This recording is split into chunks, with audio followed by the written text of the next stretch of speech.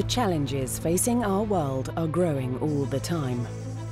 How do we build stronger economies with equal opportunities for all? How do we build a sustainable world for generations to come?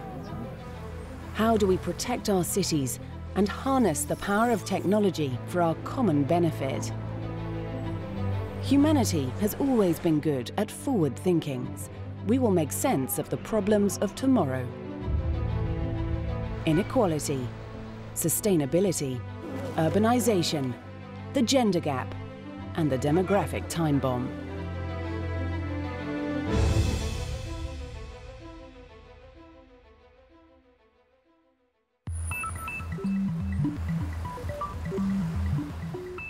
The world is changing. Today we stand on the brink of a fourth industrial revolution, one that will transform the way we work, the way we live, and even what makes us human. There's a, a, group of technologies that are combining to create transformation across almost every industry at the moment. And those technologies include things like artificial intelligence, 3D printing, robotics, um, big data, and then some things in, on the sort of life sciences front in terms of genetics and, and uh, medical imaging. And that these things are sort of combining in a way that's bringing about a host of transformative changes across industries. I would describe the fourth industrial revolution actually quite similarly to how I would describe the past three, and that is technology that leads to massive gains in productivity. And massive gains in productivity mean substantial improvements to everyone's quality of life. The world has been through revolutions before. The advent of mechanization, then electronics, then the digital revolution all profoundly changed the world's economies. But this revolution could be even more disruptive. I think in previous revolutions, you could really talk about them as industrial revolutions. What was changing was how things were made, factories, industry, often heavy industry in particular. Here you're seeing transformation across really a whole range of not just industry, but services and, and the creation of whole new business models that didn't exist before. What's different a little bit about this particular revolution is that um, it gets into a whole range of things that people only thought were ever only possible for humans to do. Jobs that were human jobs before aren't going to be human jobs anymore. At the heart of this fourth revolution is artificial intelligence, the ability of machines to match and perhaps one day surpass the cognitive ability of their human creators what's happening now is a big deal. Um, it is making a big difference in the way people live, uh, the way people interact with each other. It is sort of obliterating distance. It is, in some cases, removing humans from tasks that we once thought were the sole province of the human mind. These analytic tasks that we thought only a human brain could do, we're suddenly finding that algorithms can do, that machines can do. These are early days in the brave new world of artificial intelligence but the potential benefits are vast. What are some of the liberating benefits of artificial intelligence? There are actually a lot. Um, if you think about something just like driverless cars, autonomous vehicles, which is one use of AI that people are talking about, that could have a really liberating um, impact on a lot of people's lives. If you think about older people who can no longer drive, they're very shut in their houses right now, very dependent on others for transportation. With driverless cars, they would be able to go about their daily life. And then you're seeing with big data that this may have a profound impact on drug development, that you'll find um, new pharmaceuticals being developed at a faster rate um, to cure diseases because the computers are essentially able to sort through the data and pick up connections that otherwise would be missed. For health in particular, the advantages of machine learning and data science are immense. Those have an incredible chance to address very, both very infrequent diseases and diseases which affect different parts of the population very differently. If we're going to cure cancer, it's probably going to come through data science.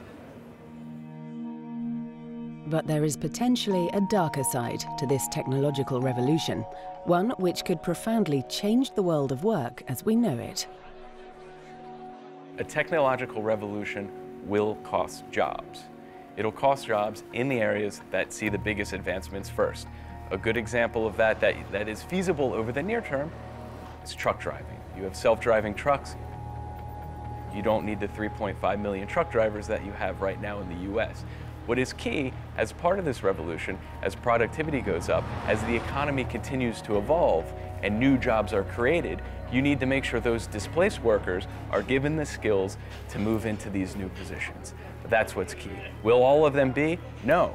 But I think the key point is you need to make sure if you've lost 3.5 million jobs in one sector, how do you create more than that in another sector?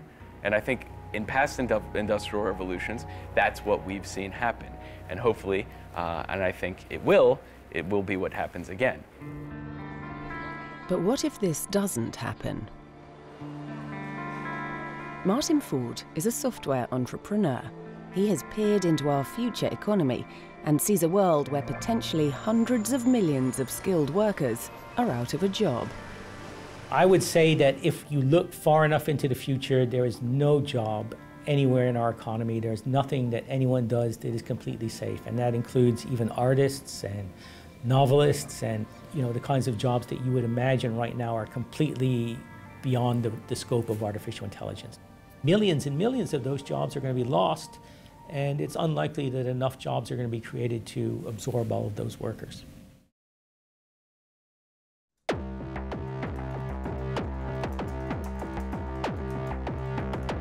Martin Ford is a software entrepreneur who has a chilling vision of the future his best-selling books have put him at the forefront of a movement which worries about technology, the speed of its growth, and the immense potential it has to change the world. This is the fourth industrial revolution, the advent of machines powered by artificial intelligence, which have the potential to make redundant hundreds of millions of workers across the planet. It is a world which is nearly upon us, but which governments and businesses are only starting to comprehend.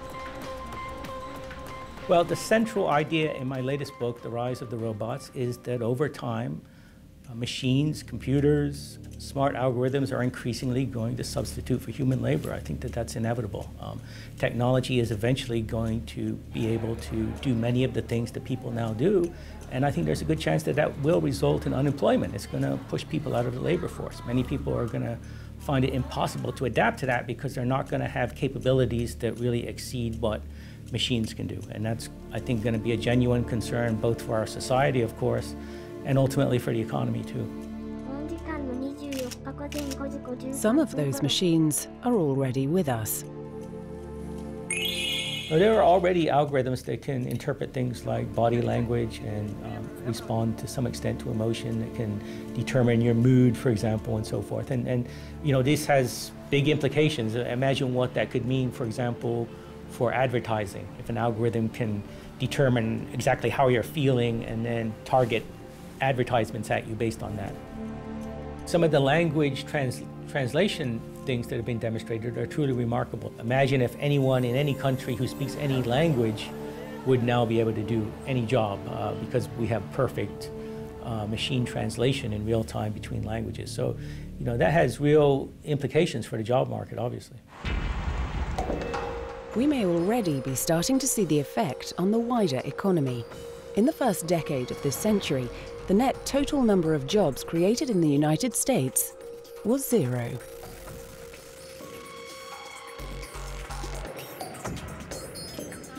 What we see is that in the United States, we've been having what we call jobless recovery. So um, clearly there's something happening there, and I think part of what's happening is that jobs disappear when a recession happens, and then when finally recovery comes back, companies find that they're able to leverage technology to avoid hire, rehiring a lot of those workers. And so it's taken longer and longer for the jobs to reappear. Throughout history, technology has always disrupted economies and societies. In the late 19th century, 50% of US workers were employed on farms. By 2000, it was less than 2%. Those workers found work in other sectors. But Martin thinks this time it's different. What transformed agriculture was a specific mechanical technology. Uh, now we've got a technology that's really just ubiquitous, it's across the board. Artificial intelligence is something that's just scaling across our entire economy. It's not something that's impacting just one sector. It's something that literally is everywhere. And as a result, it means that there isn't really going to be any safe haven for workers. What makes the new technology so ubiquitous is the development of a new virtual world, the world of big data. Well, big data essentially is the collection and use of just massive amounts of data. And in big corporations, for example, these companies are collecting all kinds of information about uh, their customers, about their business operations, about the actual processes in, in, in industrial environments and factories, um, about the things that their employees are doing. All of this data essentially becomes a kind of feedstock for these smart algorithms. It, it becomes the information that they use to learn and, and basically to figure out how to do things. And um, that's something that is just going to be, I think, dramatically disruptive going forward. The total data stored on the world's computers is now believed to be well over 1,000 billion gigabytes. And it is big data which is driving the most disruptive advance in technology, the ability of machines to think. One thing that you'll very often hear people say, even today, is that computers only do what their programs do. And you know, this is really not right anymore. And, and the reason it's not right is basically because of machine learning, because we now have this technology that allows smart software algorithms to look at data and based on that to, to learn, to learn how to do things, to figure things out, to make predictions. So it really is no longer the case that some human being is sitting down and telling a computer exactly what to do step by step. Uh, computers are now having the ability to figure that out for themselves.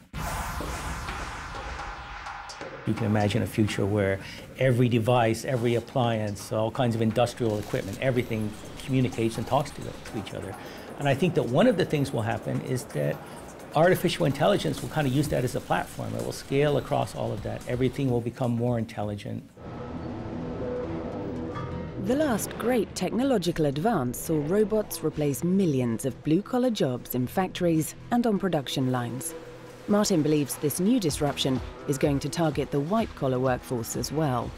Once a, a computer learns to do something, then that, that information can be scalable out to any number of machines. So it's almost as like you can imagine having a workforce of people and you could train one employee to do a particular task, and then you could clone that worker and, and have a whole army of those workers. That's a bit like the way artificial intelligence works. So machine learning is, is very scalable. If you've got the kind of job where someone else, another smart person, could maybe watch what you're doing or study everything you've done in the past and figure out how to do your job, then it's a pretty good bet that eventually there'll be an algorithm that will come along and be able to do, you know, essentially that, that same approach. So um, that's a lot of jobs.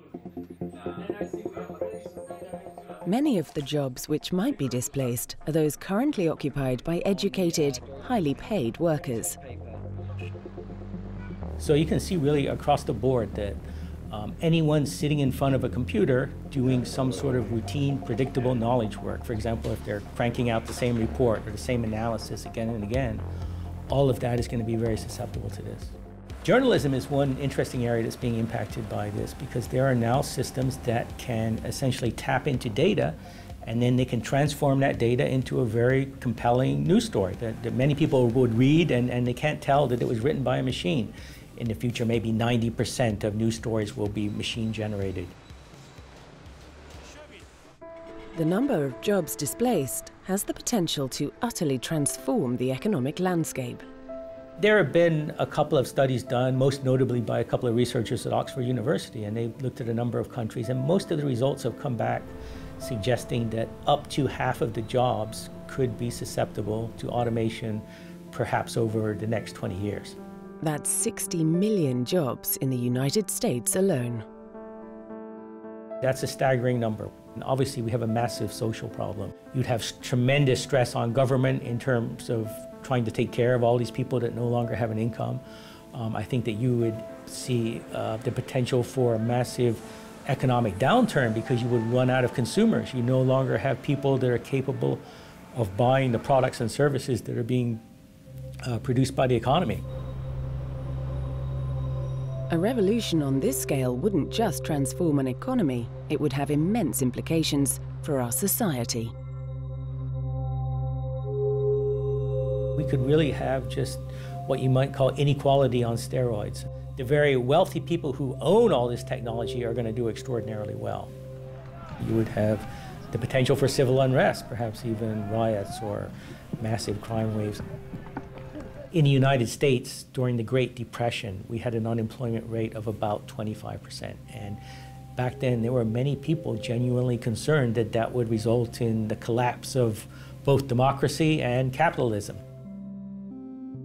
This situation amounts to just about the end of the world as we know it, a science fiction nightmare straight from the movies. There are some very prominent thinkers, like, for example, Stephen Hawking and Elon Musk, who have raised genuine fears about the potential for advanced artificial intelligence. And their concern is that someday we're going to build a super intelligent machine. Imagine a machine that's a hundred or maybe a thousand times smarter than any living person. Uh, what would that system think? How would it act? Would it have a use for us? Uh, it might decide that we're simply a burden, it might decide to just get rid of us. Uh, so it could potentially present an existential threat. Uh, is that something to worry about? I think that it's not a silly concern. It's not something that we should laugh at and just dismiss. There's really no endpoint to this. There's no point at which you can say, this is absolutely as far as we can go, and, uh, and, machines will never go beyond this. We are reaching a new era, a time when things are going to operate differently, and we need to adapt to that. Healthcare is one area of the economy already adapting to this disruption. And in this field, researchers hope that intelligent humans and intelligent machines can work together for everyone's benefit.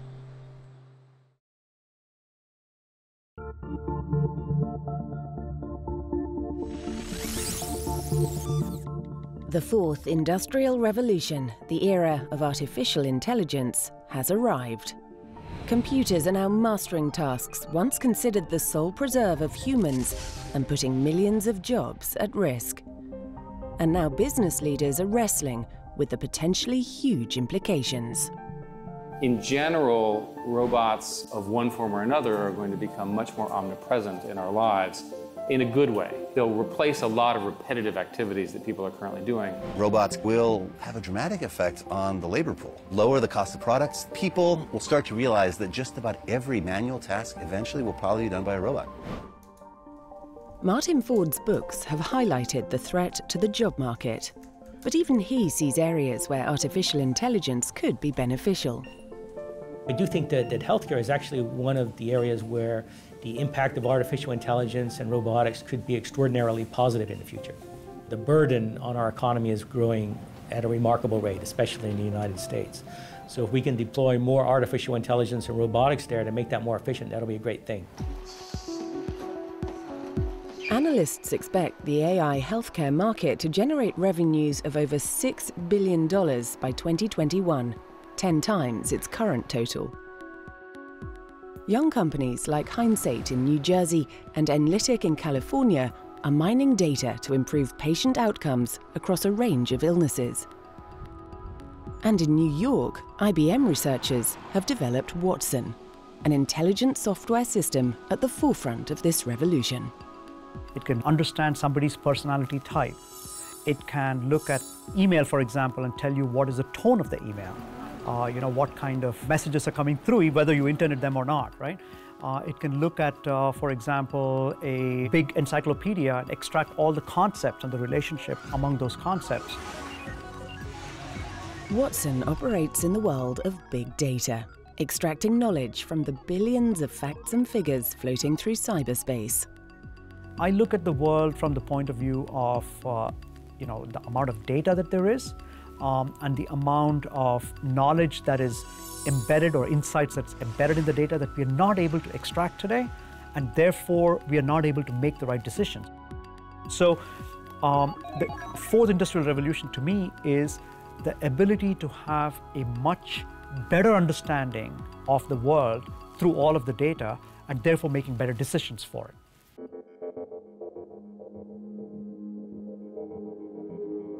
IBM is currently running a research project in which Watson augments the intelligence of medical professionals, helping doctors treat the most dangerous diseases in the world, including skin cancer. Melanoma is a very deadly form of skin cancer, and it's something where early detection and intervention is, is key. So a dermatologist faced with a patient who has a skin lesion will make some assessment about the likelihood of a lesion being melanoma. So unfortunately today, dermatologists can make errors. Some melanomas are being missed, and some skin lesions which are perfectly benign are being excised needlessly. So what we can do here is essentially ask the computer to make a deep analysis over an image. So this image is then being sent to the computer and it's being automatically analyzed. And what the computer is telling us about this image is that there's a very high probability that it corresponds to melanoma. What we're finding in our own internal retrospective research is that the computer can be as accurate as 95%. So this compares to the best clinical experts today that are between 75 and 84% in recognizing melanoma. It is not a tool that would replace uh, the clinical expert. Uh, rather, it provides them with additional analysis over the skin lesion images uh, by providing reaches into large databases of uh, similar lesions. This is a vision of a future where humans and machines work hand in hand, complementing one another's skills. I look forward to a, a time when you know, every professional, in fact, you know, two, three billion professionals around the world are all able to have their own personal cognitive assistant that can help them do their daily jobs. And that changes the nature of expertise. Humanity will move to a completely different place in terms of expertise and how we apply our knowledge and our experience into real world problems and therefore make the world a better place. Just like uh, we've had um, machines that could um, augment people's muscles in the, in the prior industrial revolutions, uh, or uh, can help people you know, search vast amounts of inf information, like in the, in, uh, in the internet era, I look at the next revolution as machines augmenting people's cognitive capabilities. Um, that's how I think about it. Martin Ford remains cautious believing artificial intelligence is going to fundamentally change the way we live and work and challenge us like never before. We're not prepared for the disruption that's coming. We're going to see things get worse before they get better. In particular, the impact on the job market and the impact on the incomes and the livelihoods for average people.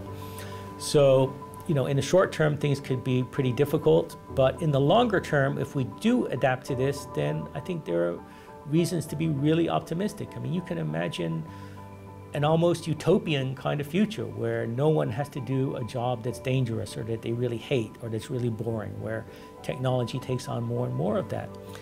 And um, if we can get to that point, of course, then that's a tremendously positive outcome. So I think that all of that is really possible, and it could be one of the best things that's ever happened to humanity, but it will require that we adapt to it, and uh, that's going to be a staggering challenge.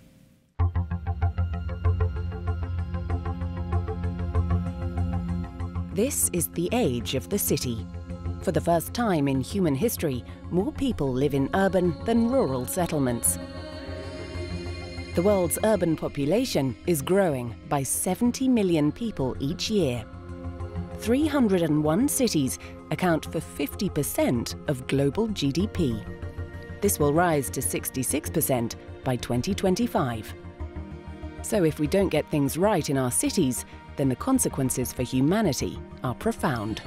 Cities are critically important to the global economy and to progress in the global economy. Cities can be sources of chaos as well as development. This dual personality of cities is what makes them so alluring and so vital. They can be dangerous places, but cities are where fortunes can be made. One of the primary uh, factors driving urbanization is opportunity. You live on a farm and you're growing crops, you don't have a lot of opportunity. You see a bustling, growing city. Your friends are moving there. They're getting uh, jobs in offices, maybe jobs in a, in a manufacturing center. Uh, there's restaurants, there's culture, there's life. This, this is attractive. Uh, this is attractive and something you want to be a part of. And everything is relative. You know, they'll have greater access to schools, greater access to health care, greater access to employment, and a much less vulnerable uh, economic life.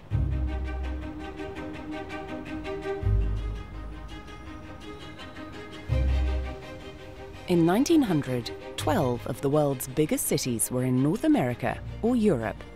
100 years later, this number had fallen to just two. Most of the biggest cities of the future will be in the developing economies of Asia and Africa. Most of the growth in cities is going to be in China, India, and Nigeria. Those three countries alone will account for 37% of the world's urban population. Just staggering numbers. Here's an example Lagos, the biggest city in Nigeria. Its population every year is adding the equivalent of the population of Boston. The urbanization rate in the US, Japan, it's over 70%. In China, it's still 50%. So China may have a lot of megacities, they may have a lot of larger cities, but those cities are either going to get bigger or there's going to be more of them. So I think that's going to be a trend. And I think a, a lot of emerging markets, especially those with uh, large populations, uh, are going to experience trends like that uh, in the next 50 years. This incredible rate of growth makes the challenges of managing a large city even more difficult. The biggest risks facing cities are the same risks that challenge all of us uh, politically, uh, governance, uh, climate change, economic uh, inequality, uh, productivity, economic growth, employment, education, transportation. Those issues that, that face cities are the same that face everyone except on a, on a much, in a much more concentrated way. One city battling with many of these problems is Rio de Janeiro in Brazil. Alessandra Orofino is on the front line trying to solve them.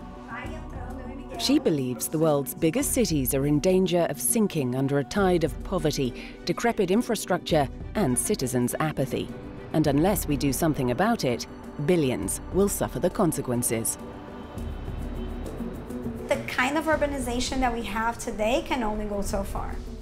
If we do not change the way we design our cities, if we do not make cities change with us, we're going to have very serious limits to urbanization cities will become impossible to manage, impossible to live in, and just very miserable places to be.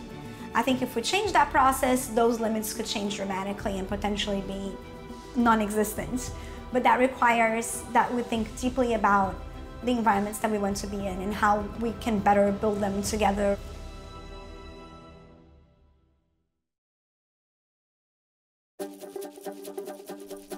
Managing megacities is one of the great challenges facing the world. This is Rio de Janeiro, Brazil. Nearly 12 million people crowd into its metro area. It is beautiful and vibrant, but it also has its problems. Crime, inequality, and poverty. Alessandra Orofino is an urban activist and thinker who has lived and worked in megacities on three different continents. She has worked with the United Nations on its Sustainable Development Goals and founded the groundbreaking Meu Rio, an NGO that uses data gathered from citizens to raise campaigns and solve thorny issues posed by the rapid growth of the city. Meu Rio has 170,000 activists, and Alessandra hopes it can become a model for other rapidly growing cities around the globe we build upon a rich tradition of neighborhood movements, not only in Brazil, but all over the world, and we try to sort of bring it to the 21st century in a way that makes sense for people. I was born in, in this city in Rio de Janeiro, and my family has a very sort of mixed background.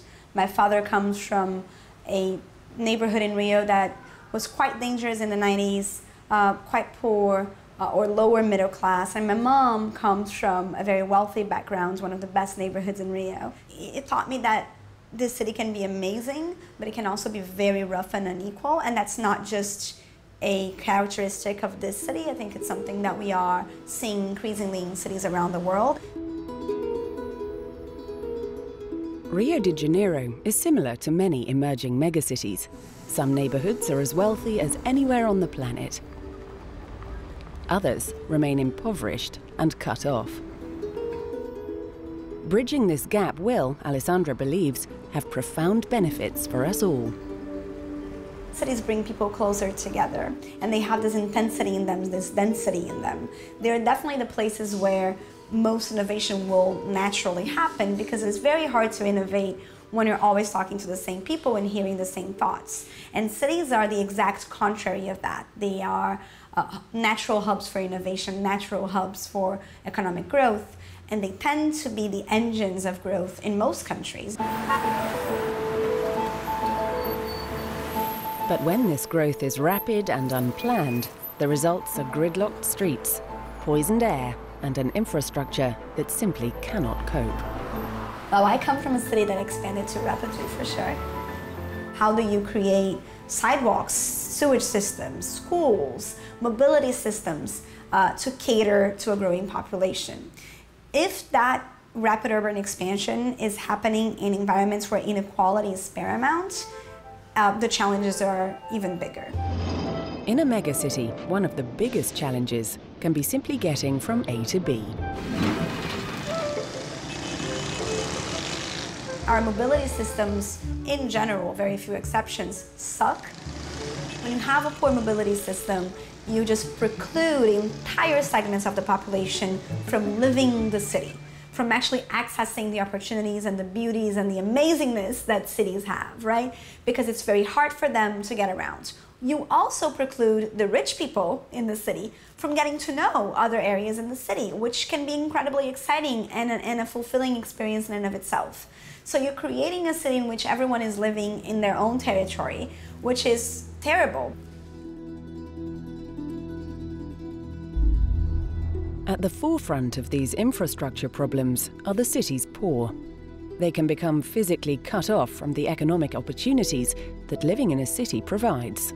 The poor pay the brunt of most things, and I think that includes uh, rapid expansion of cities. The fact that in the developing world, one third of the population is living in slums is something that none of us should accept um, as, as we grow and as we think about the planet in which we want to live.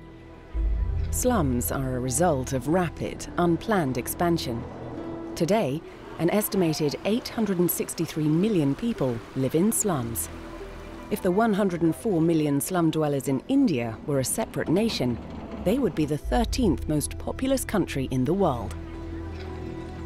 But slums are not always hopeless places the poor are not just sitting waiting for the government to do something for them, they're creating their own urban environments. So if you go to a slum in Rio, you see that most of that infrastructure was built by the community itself um, over the years. So there is a level of do it yourself, a level of initiative that you see a lot more in poor neighborhoods than rich neighborhoods precisely because the government wasn't there. This means slums must be handled delicately by urban planners. What do we do with areas that were developed by communities but lack infrastructure? Even if we're assuming goodwill in terms of how we handle them. Even if the only thing that we want to do is provide those areas with good quality public services, there are choices that need to be made in terms of which pieces of that infrastructure do we leave, which pieces do we change, knowing that it was built by the people. If we don't handle that process in a way that is human and intelligent and actually aims at protecting the interests of the poor communities, we can end up with massive waves of dislocation and, and, and destroying an urban fabric and a social fabric that is so important and so vital. In Rio, we have a neighborhood called Santa Teresa. And in that neighborhood, we have a tram. It's a historical tram, it's beautiful. Uh, most trams in Rio were destroyed um, in the, earlier in the 20th century. Uh, in Santa Teresa, the neighbors organized and kept their tram. It's a point of pride for them. Santa Teresa was a forgotten neighborhood for a while. It became a lot poorer. Uh, and then in the past five to six years, it has been gentrifying really quickly. And the government decided to turn that tram, which is one of the very few remaining in the city, into a tourist attraction. But what the neighbors said at that point was, The only reason why this tram still exists and it's vintage and kind of hipstery and amazing, it's because we organized and we kept it here. They created that value. They created the richness of that community. And we see that all over the world. Alessandra believes cities often ignore this creativity. The result is a democratic deficit which erodes faith in the city's government and alienates already vulnerable communities. Alessandra believes cities must take their citizens with them if they are to expand successfully. I think what we have definitely not gotten right is the process by which we involve citizens. I have not seen one case of a city that has really used the collective intelligence of its citizens and, and distributed power in a way that makes it actually possible for people to influence the way the city evolves. And when we get that, that right, I think we'll solve a lot of the other issues that we see. But for us to truly harness the power of our cities, we need to heal the divisions within them first. If we keep building unequal cities, cities that are not sustainable, and cities that are not very good to live in for most of their population, I don't think we can actually hope to be happy in these urban spaces. The worst case scenario for the global city of the future would be cities that do not have a soul and therefore become uh, less and less attractive to entrepreneurs, to people who do, who do want to create new economic activity, and that ultimately also become less wealthy. Across the ocean from Rio, another giant city is growing. Lagos is now the most economically important city in Africa, but its growing pains are excruciating and threatening the futures of 21 million people.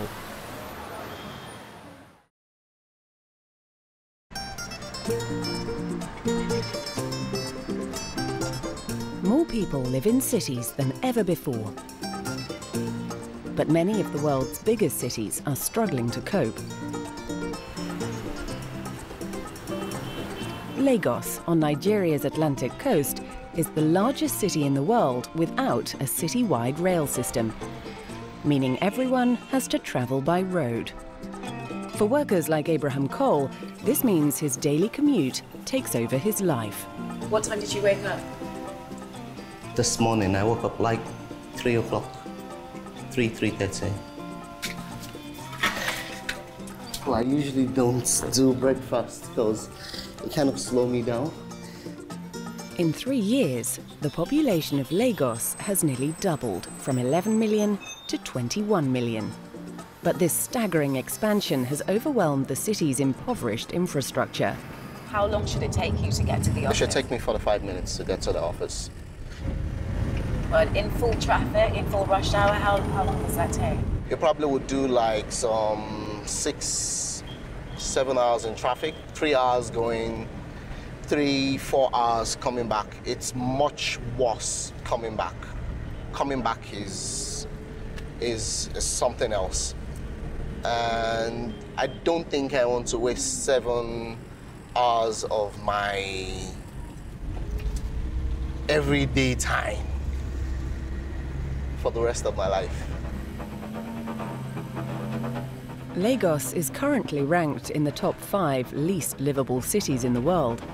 But although the city's economy is bigger than Kenya's, simply getting to their desks is a daily ordeal for its millions of workers. So when do you see your children? Weekends, weekends only. Sometimes I see them during the week if they really want to see me and they're keen to see me. Sometimes they miss me that much. It must be quite difficult. Yes, it is, but it's what we have to do. For now.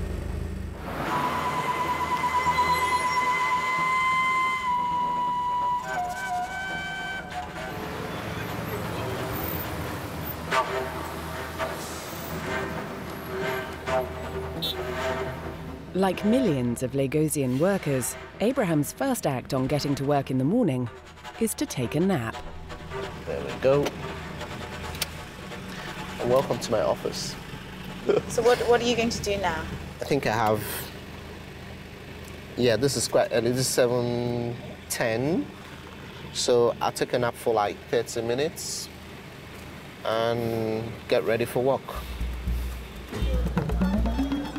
2,000 people migrate permanently to Lagos every day, straining the city's infrastructure further and expanding the city from the land to the sea. The result is slums like Makoko, a floating settlement on the city's lagoon.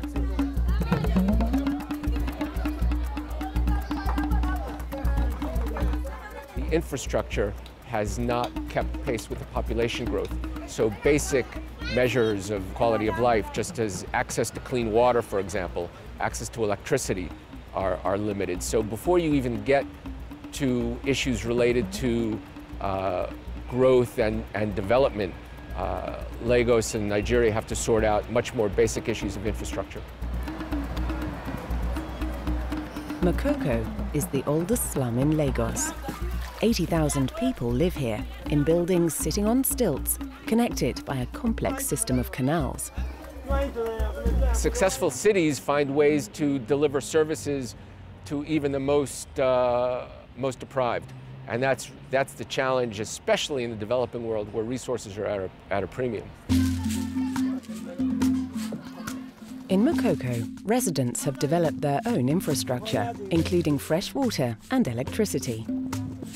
And this three-story floating school, which doubles as a community centre, is the latest addition to this unique environment. The school was completed in 2013. It is cheap and easy to build. Its designers hope it will become a template for future buildings in Makoko. Makoko in Nigeria raises interesting questions of governance and control. For example, uh, it's been a uh, long ignored area and the local residents took charge and tried to improve their own lot with schools and with their own locally initiated development projects. However, the central government also has decided it wants that area for its own development reasons. Only a few kilometres away lies an alternative vision of how Lagos might develop. Not a grassroots community vision, but a grand project of incredible scale. Eko Atlantic. Well, where we are standing, we are in the alignment of the financial district, what we call Eko Boulevard, or some people call it our Fifth Avenue. This is where all the major financial institutions will establish their headquarters and offices. Eko Atlantic is a multi-billion dollar residential and business district built on 10 square kilometres of reclaimed land. It is, in effect, a new city, or it will be soon. Its backers hope a quarter of a million people will one day live here, with 150,000 workers commuting from the old city across the water. When we initially started to conceive Eko Atlantic, uh, obviously we looked at um, Canary Wharf in London, we looked at Dubai, and if you look at the heart of London, heart of Paris, heart of New York. Obviously, uh, the vast majority of the residents are wealthy people. I couldn't afford to live in the heart of London. But it, in creating the residence for these people, you're also creating job opportunities. And it is the, the norm here in Nigeria that when you create a residential apartment, you also create um, quarters for the domestic staff working for that family.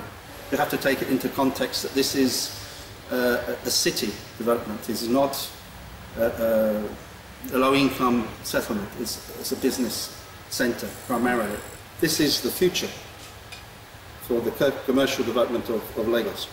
There's no doubt about it. David hopes the first residential units will be open by the end of 2016, with the infrastructure of the whole site in place by 2022. Projects like Eko Atlantic raise as many questions as, as they answer, uh, especially from where, where local residents are, are aware that they may be getting the short end of the stick. On the other hand, they really do lend themselves to uh, starting from scratch and being able to build structures where there are schools, hospitals, offices, uh, transportation facilities, and they, they give gigantic cities like Lagos an opportunity to create a model of what can be, presuming they're, they're planned and executed correctly. The future paths of megacities like Lagos remain uncertain.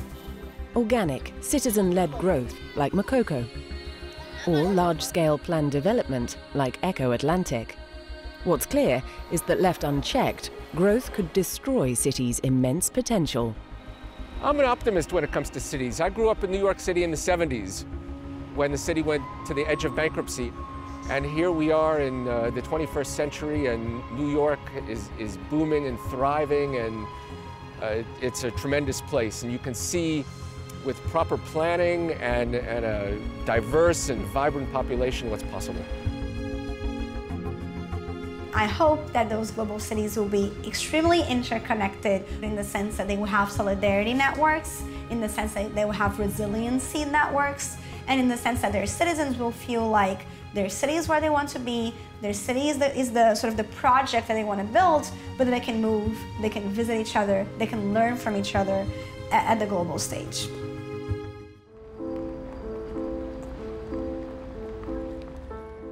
The world of work is still dominated by men. In the Middle East and North Africa, only 25% of women are economically active. Globally, three quarters of unpaid work is done by women.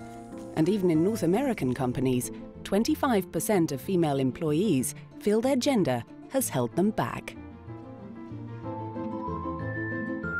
If women are half the people, they should have, you know, a fair shot for all of our benefit at contributing to the economy in a way that is really much more equal with men than maybe what we've seen in the past. Of the biggest companies in the world, only about 5% are run by women.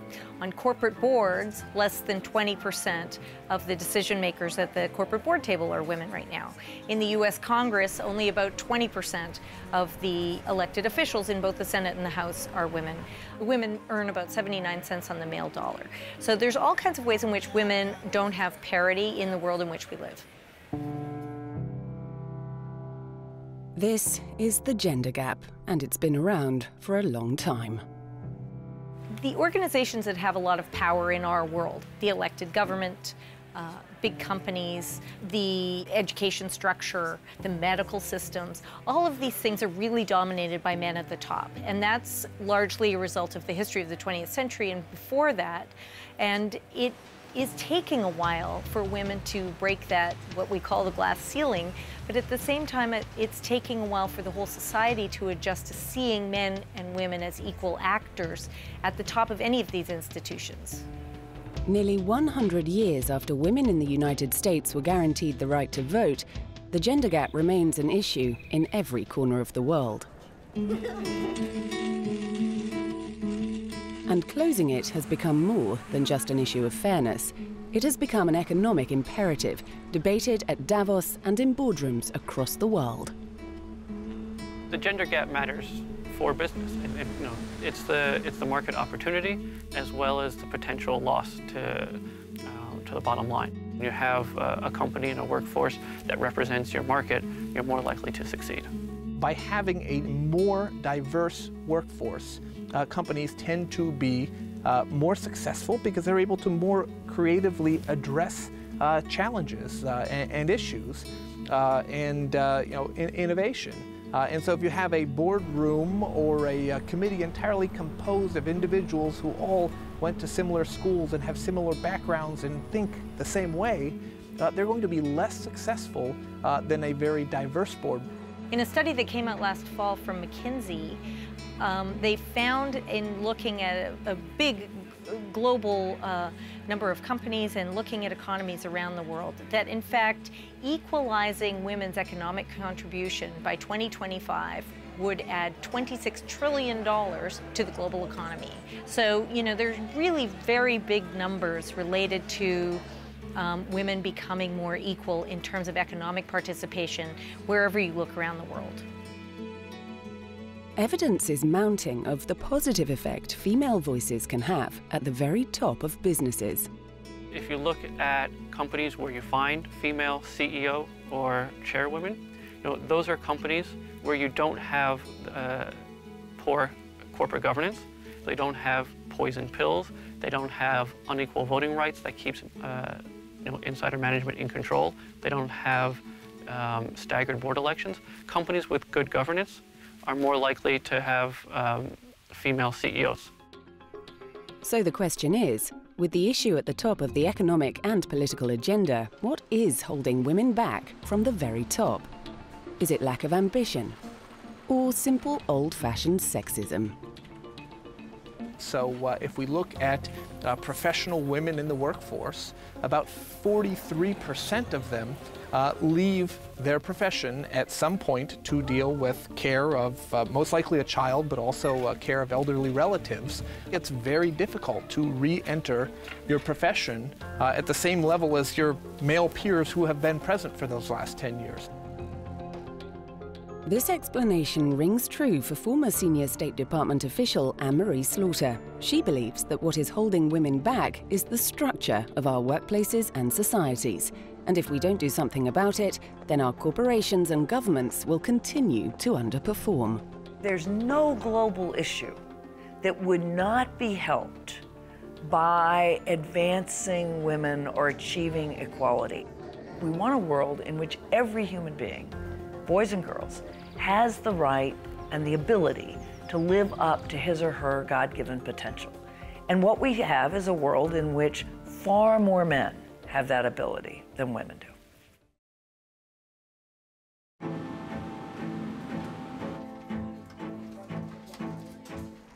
Once upon a time, women were promised they could have it all. But something is holding women back from gaining and retaining the very highest positions in business and government. Anne-Marie Slaughter has reached these heights in her career.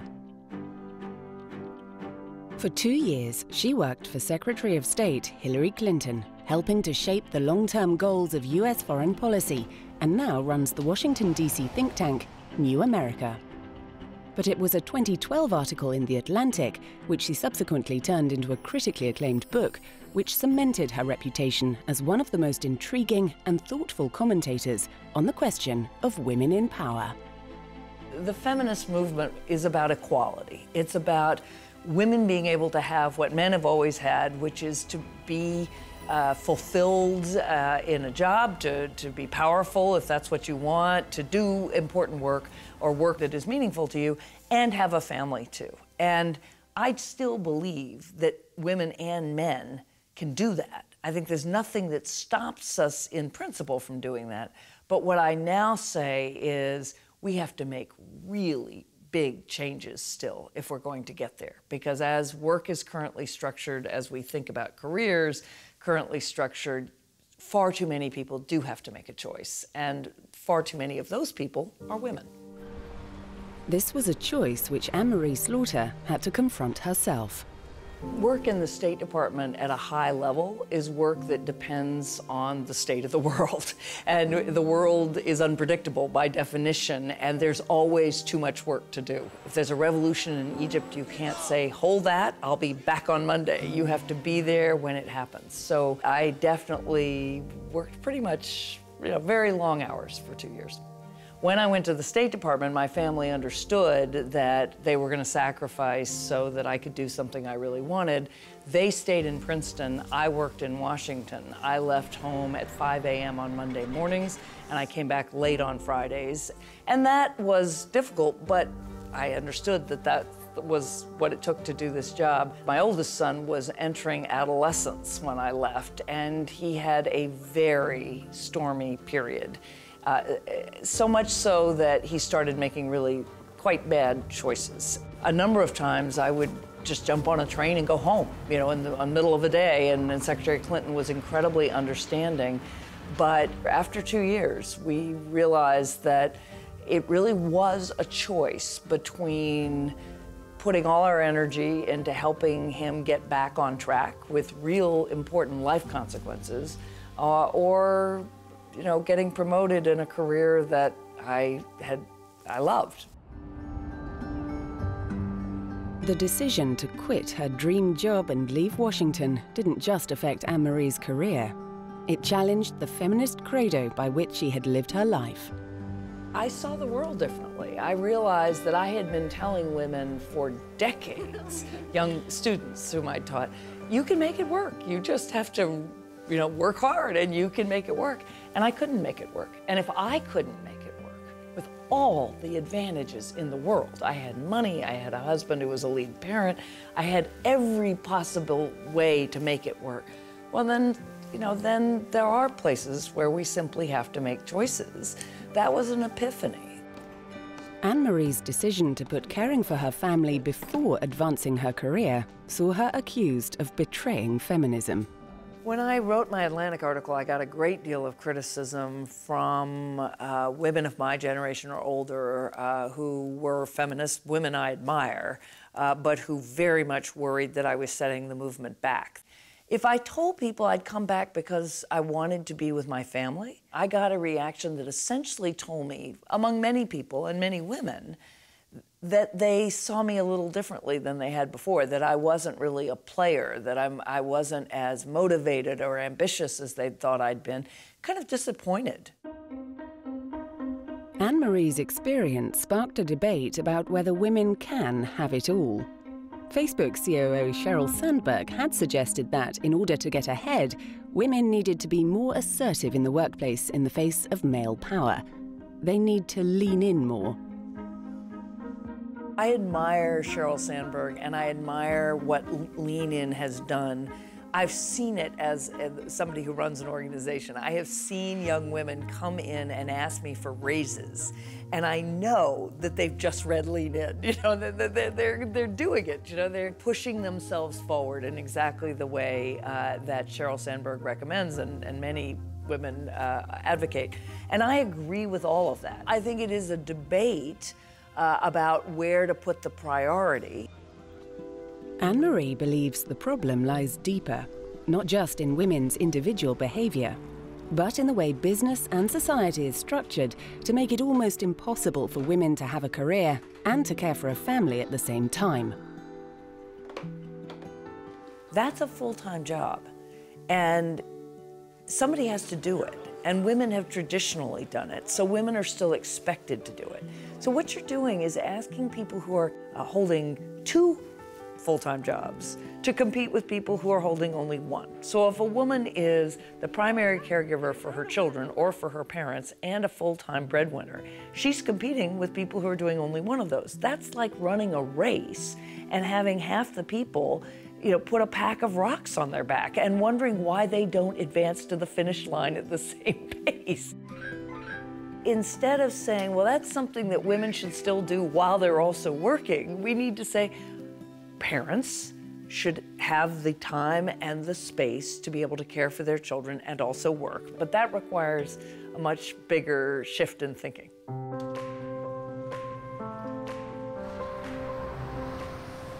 The effect of the gender gap can be seen across the global economy.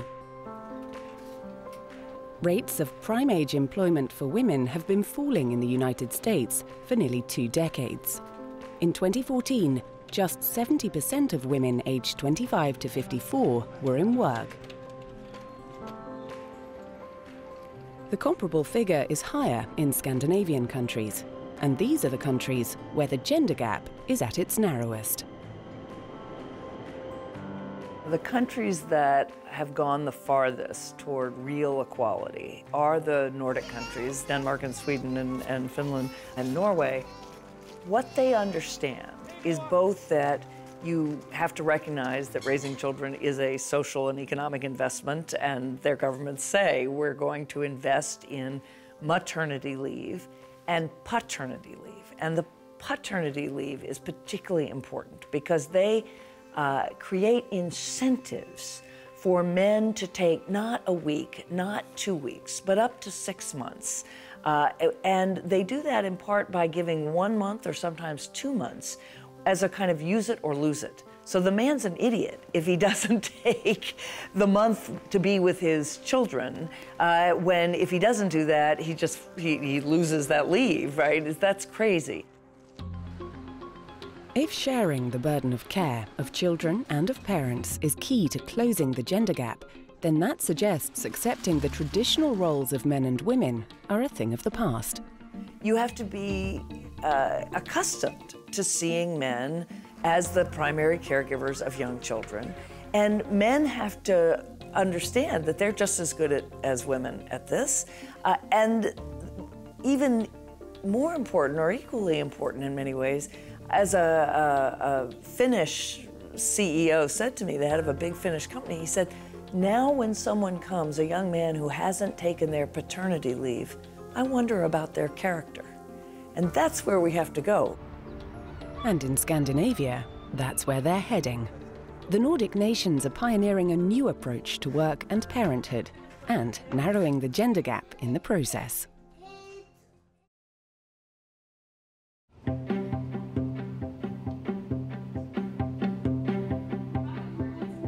Across the world, women are reaching the top in business and politics, but they're struggling to stay there.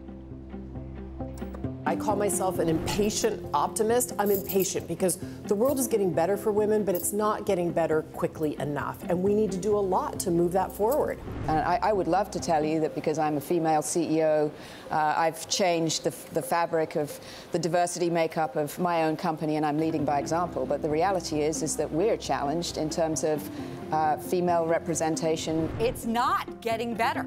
In fact, you know, post the crisis, there was less diversity on Wall Street than pre the crisis, and one would have thought it would have been the opposite. Right. So I would take the opposite side. Okay. It's not getting better, and it's costing Wall Street a lot of money.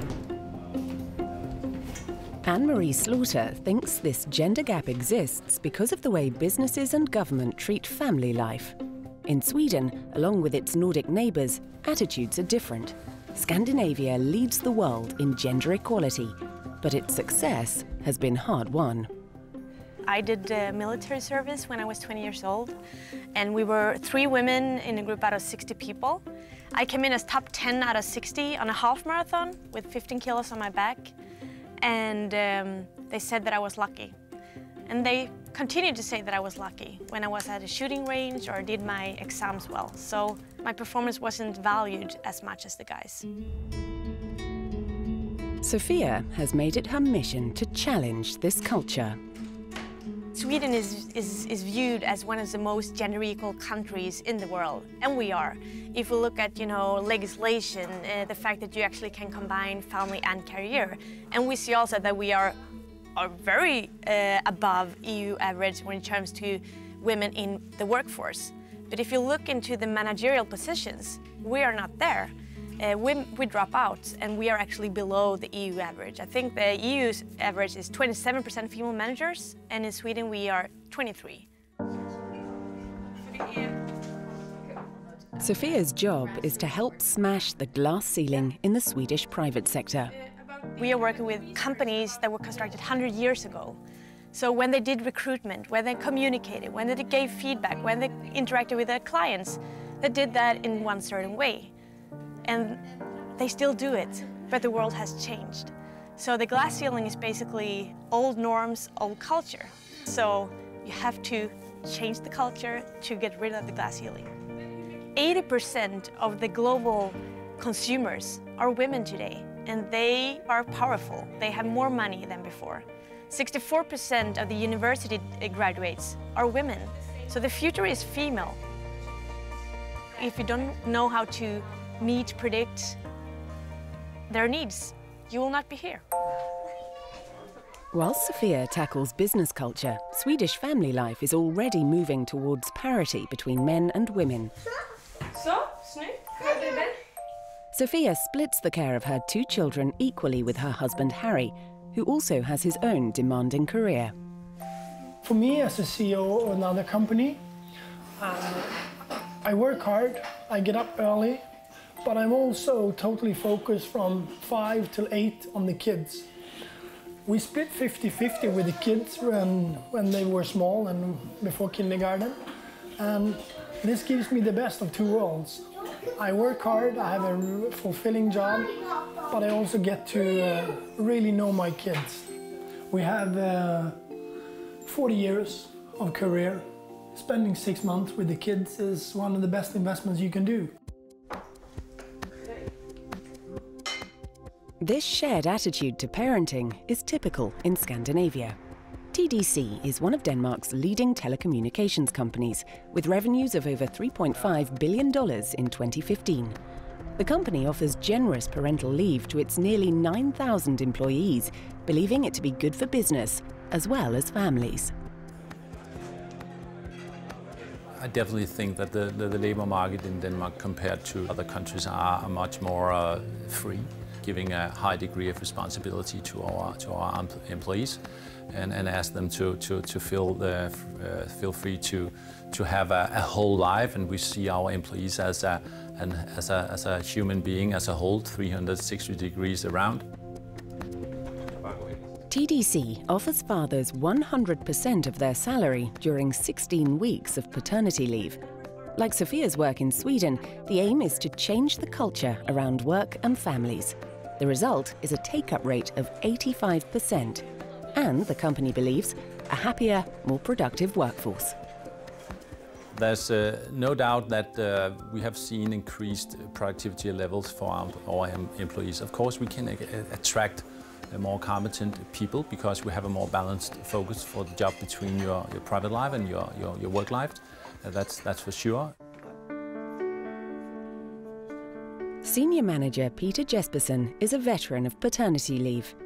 He's able to split care of their three children with his wife Christine, who then feels the benefit in her own career. Peter is allowed to spend four weeks with me at home right after the baby is born. And then when I go back to work, uh, he has the, the first couple of months, he stays at home with the kids, which enables me to um, start working without having any duties at home, which uh, then I can focus on work. I'd say that, that what other countries or and other people probably could be missing out on is, is, is two things probably. I think one thing is the family side. I mean, both parents get to know their children, they get to know their preferences, they get to know who they are. And I think on, on, on, on the work environment, the workplace, I think there's numerous studies that shows that equality, if you promote equality, being both having women in, in top positions, women in managers' jobs, and women in the workplace in general, uh, you, will, you, you will be more successful. So, so as, a, as a society as a whole. Moves towards gender equality in Scandinavia have not happened by accident. They're the result of a deliberate, long-running strategy. I think it's critical to how we live now and how we go forward, that the gender gap and broader issues of diversity are part of the conversation. And that is really because of the way the world is changing. The gender gap is part of it and it's not going anywhere, so it's important for us to talk about it. I want my daughter to grow up in a world where she can be anything. So I think it's about you know, breaking norms and enable both men and women to be who they are. Gender equality is a huge piece of cultivating and harnessing human talent. And that's the way to think about it, that we need all the talent we can find uh, because we have enormous problems, uh, because we need economic growth, because we need innovation, because we need to save the planet. Uh, we need human ingenuity, uh, creativity, intelligence, and half of that talent is in women.